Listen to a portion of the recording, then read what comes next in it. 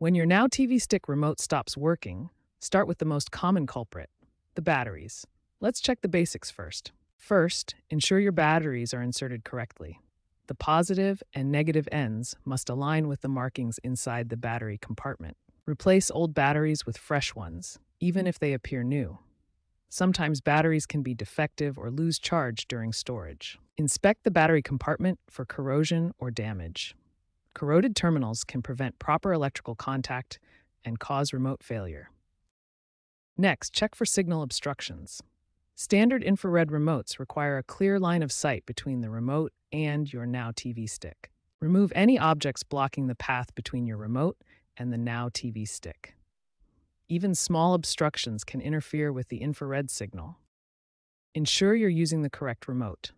Now TV remotes are not compatible with Roku TV remotes, even though they may look similar. Finally, determine your remote type.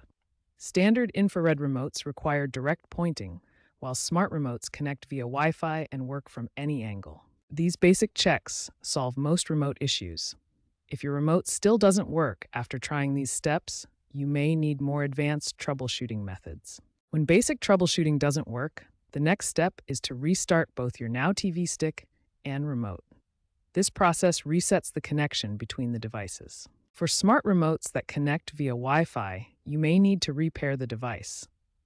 This involves using the pairing button located inside the battery compartment. If your physical remote still isn't working, you can use smartphone apps as alternative control methods. Both the Roku Remote app and Now TV app can control your device. If these advanced solutions don't resolve the issue, contact customer support for further assistance. Keep in mind that now Smart Stick and SmartBox remotes are no longer available for purchase, making proper troubleshooting essential.